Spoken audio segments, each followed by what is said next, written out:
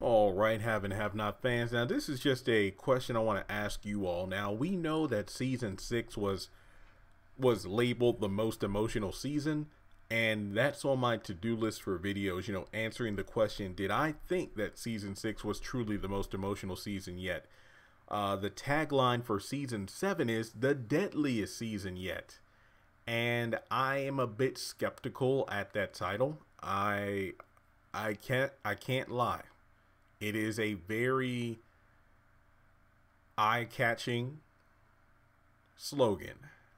But let me just put it this way. Somebody better die.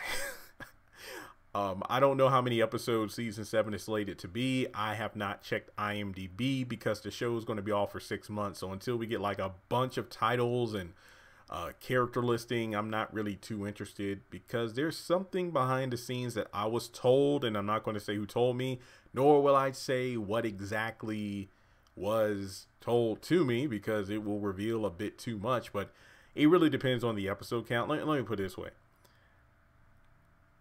Not to talk too much about my was season six the most emotional season yet video, which I'll do probably over the weekend, but season six was a bit disappointing and i've said this in live streams and previous videos. I get it. It's for ratings to you know oh my god did so and so die or whatnot? You know did did justin and jeffrey get shot in the head when justin pulled the triggers? Did did did veronica really die when david uh, attempted to drown her in the pool? Um, during the shootout at the beginning of the finale were david and jeffrey killed then at the end of the episode wyatt is he dead when he got shot by the cop is Katheryn dead after being shot by Wyatt? Is Jim dead after being shot by Wyatt?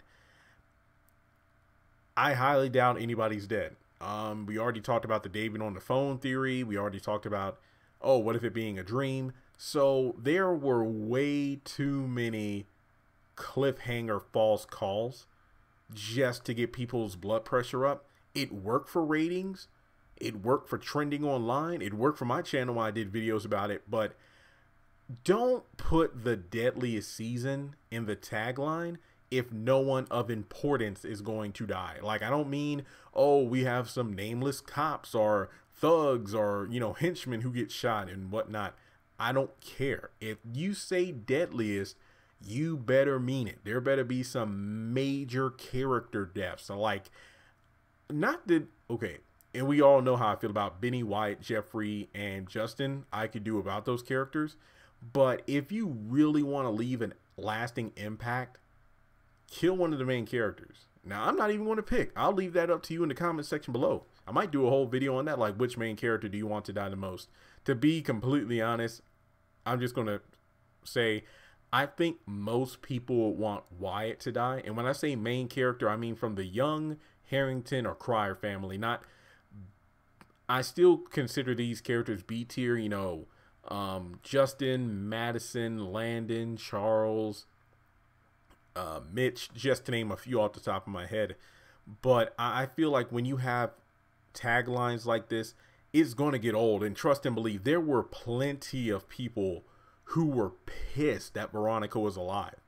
Because it's like you, they've quote unquote killed Veronica way too many times in this show, and none of them have stuck.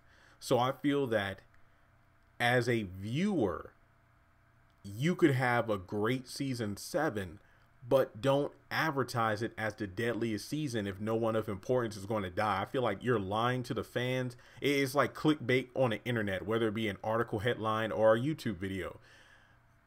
Don't clickbait the audience when it comes to this show because Tyler Perry, here's my thing. If you, you're putting out all this new content this fall, which I do hope does well, not to mention, Greenleaf has a strong fan base. Ambitions is getting a strong fan base, bigger and bigger each week. Not to mention all these other uh, drama and television series out here. I honestly feel like not only having a six month hiatus, then coming back with a season labeled the deadliest season, but you don't kill anyone off. I fear he might turn more people away from the show. I want to be completely honest here because you have to keep in. Oh, my elbow hit my desk.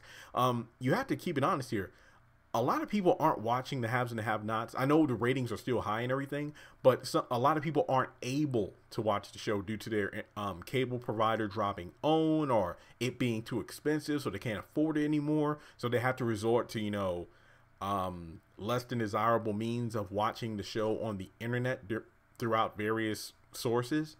So I feel like if you want to continue to have dedicated viewers, you really need to spice things up. Like there are only so many fake deaths we can have before we just say enough. It's like in the MCU, how many times has there been a successful superhero film and nobody of importance dies aside from maybe the villain or whatnot? You know, um, Infinity War and Endgame don't count. but I, I feel that if it's really the deadliest season, you really need to make it the deadliest season. I'll leave it up to you. Who do you think should die and whatnot? Hopefully, it's not one of those situations where they bring a character back just to be killed off like Celine or Quido and whatnot. I definitely think, like, remember when Amanda got killed off and then we thought, like, oh man, as the show progresses, they'll probably pick off main characters. Nope. And then uh, Benny did say in that one interview, it's going to be a lot of deaths. You know, if, if the if the show was like a, a cat, then everybody's on their last life I don't know if he was referring to season six or seven. I mean, he said this interview like around the time they were filming or right after they filmed season seven. So I don't know. Who knows? This upcoming season might pick off a lot of characters, but I do believe over the next couple of weeks they will be working more extensively on seasons eight and nine. So from behind the scenes, if certain characters post certain things, then I know they won't be killed off. But we all know that I can do about Wyatt, Jeffrey, Benny, Justin. They could all be killed off for all I care. I don't think Veronica's going anywhere anytime soon. I highly doubt that. Um, but those are just my thoughts. I, I feel like I would be real. I know, not just me. I feel like a lot of viewers will be cheated, not only because you're hyping it up as the deadliest season, but once again, the fact that there's a six month break in between means you got to come back with a bang next season. Now, here, here I, I'm just saying this is something they could do. Maybe episode one is following up on all the Cryers being shot, getting people's reaction, and maybe at the end of episode one or episode three, we realize, oh snap, it was a dream because you know maybe the first episode or two is the reaction of the other characters to the deaths. I'm just saying that would be pretty interesting, but other people think the shootings were real. I don't know. We'll have to wait and see. But let me know your thoughts in the comment section below. Uh, the cast have told me season seven is going to be is going to blow me away. So I, I, I mean the fact that they told me lets me know that okay they're they're working on something good. So I I'll keep my optimism a little bit higher than I thought I would after I got those messages. But let me know your thoughts. Subscribe to the channel, and as always, I'll talk to you soon.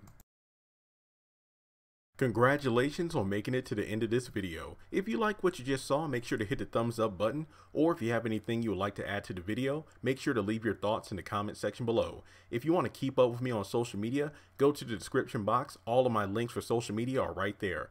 Also, if you feel like you would like to donate to the channel, make sure to click on the link to PayPal. Any amount helps, a dollar, $5, $20. As a full-time YouTuber, any support from my fans really does mean a lot to me. Finally, make sure to hit the subscribe button as well as the bell notification icon. That way you're kept up to date on any new content I post to the channel. Once again, thank you so much for tuning in, and I'll talk to you in the next video.